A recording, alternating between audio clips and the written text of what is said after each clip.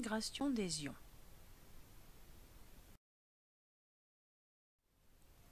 Une solution aqueuse ionique contient des ions et des molécules d'eau. Une solution aqueuse ionique conduit le courant électrique.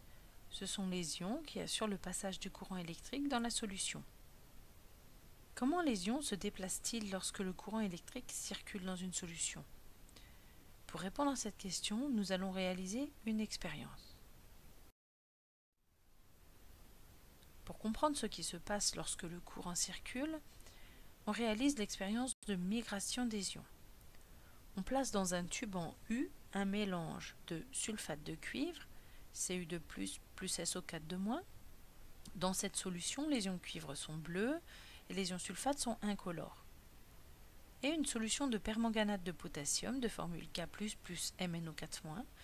Les ions potassium sont incolores, tandis que les ions permanganate sont violets. Voici une photo de l'expérience de la migration des ions le tube en U, dans lequel on place une solution incolore d'acide sulfurique et le mélange des deux solutions. À droite, une électrode de graphite reliée à la borne positive d'un générateur et à gauche, une électrode de graphite reliée à la borne négative du générateur. Après quelques minutes, on observe l'apparition de deux anneaux colorés dans les deux parties du tube en U un anneau violet du côté de l'électrode relié à la bande positive du générateur et un anneau bleu du côté de l'électrode relié à la borne négative du générateur.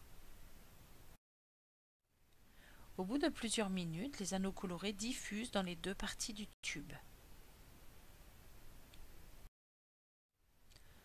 Lorsqu'une solution est traversée par un courant électrique, le passage de ce courant est assuré par le déplacement des ions. Les ions cuivre Cu2+, se déplacent vers l'électrode reliée au pôle négatif, tandis que les ions permanganate MnO4- se déplacent vers l'électrode reliée au pôle positif. Voici l'expérience de la migration des ions et son interprétation au niveau microscopique. On dispose d'un générateur de tension qui délivre un courant d'intensité I.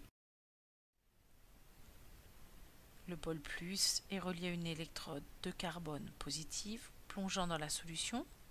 Le pôle moins est relié à une électrode de carbone plongeant dans la solution.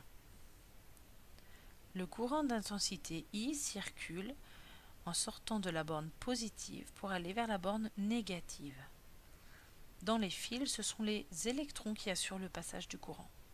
Dans la solution, on voit diffuser d'un côté la couleur bleue des ions Cu2+, et la couleur violette des ions permanganate. Regardons au niveau microscopique ce qui se passe.